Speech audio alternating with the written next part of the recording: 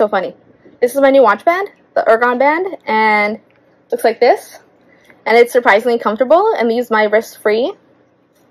This would probably be useful for various sports, and I'm excited to be able to type on my computer, on my laptop, without having my wrist indented into my metal watch band. And it doesn't squeeze my wrist as much as like an elastic one. So this is very cool, very unique Apple Watch band. And yeah, let me know. Do you think this is cool? Do you think it's weird?